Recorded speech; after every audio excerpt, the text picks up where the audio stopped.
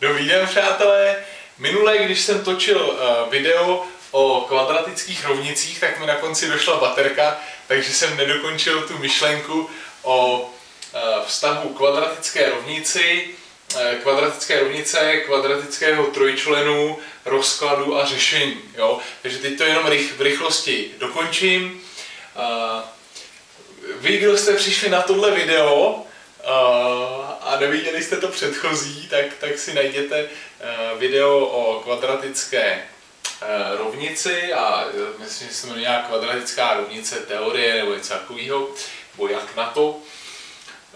Tak, v závěru tam rozebírám to, že existuje jakoby vztah mezi kvadratickou rovnicí, kvadratickým trojčlenem, rozkladem a řešením. My víme, že každý kvadratický trojčlen ax na druhou b plus bx plus c se dá rozložit na a krát závorka x minus x1 krát x minus x2, kde to x1 a x2 jsou řešení kořeny uh, té kvadratické rovnice, tyhle ty.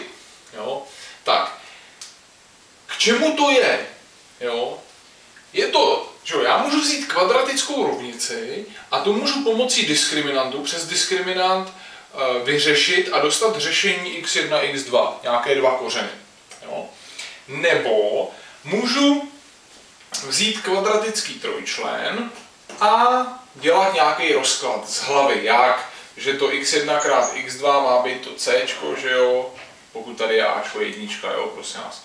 A eh, x1 plus x2, respektive tadyhle to minus x1, minus x2 má být to b, že? pokud je a1. Jo? Tak, no, ale ono se to dá využít i jakoby uh, propojeně, jo? protože samozřejmě tadyhle uh, ta kvadratická rovnice, že jo, má na levé straně ten kvadratický trojčlen, jo. Takže já tady nakreslím takhle dvě šipky, že to si může tak nějak jako odpovídat, že jo. Uh, a v podstatě to, co já můžu udělat, je to takhle celý ten diagram propojit. A například vyřešit kvadratickou rovnici tak, že ten kvadratický trojčlen roz, rozložím a tím získám vlastně rovnou ty kořeny x1 a x2. Jo? Hnedka za chviličku udělám příklad.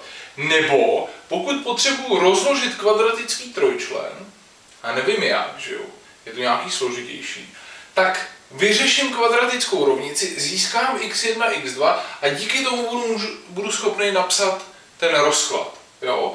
Takže já teď si řeknu třeba nechť řeším rovnici, vezmu si tady na tu červenou barvičku, nechť řeším rovnici třeba x na druhou, moji oblíbenou, ne? x na druhou minus x minus 12 rovná se 0, jo? A jsem línej to dělat přes diskriminant, tak si udělám rozklad toho x na druhou minus x minus 12, získám vlastně rozklad, bude uh, x, co to bude, plus 3 krát x minus 4 rovná se 0, že jo? 3 krát minus 4 je minus 12, 3 minus 4 je minus 1, jo? Čili jdu tímto směrem, vlastně jakoby. No a tudíž vidím, že x1 je minus 3 a x2 je 4. Jo? A je to mnohem jednodušší, než kdybych počítal nějaký diskriminant a x1, 2 plus minus jo, a tak dále, odmocně na diskriminantu. Jo? A naopak, co kdybych měl třeba nějaký a, kvadratický trojčlen, který potřebuji rozložit, jo? řekněme 3x na druhou minus 7x minus 10, jo, no tak tohle nerozložím z hlavy, ani kdybych se na, na uši postavil, jo. Tak vyřeším kvadratickou rovnici, získám řešení x1, x2 a napíšu uh, vlastně ten rozklad jako 3 krát x minus to jedno řešení krát x minus to druhé řešení té kvadratické rovnice.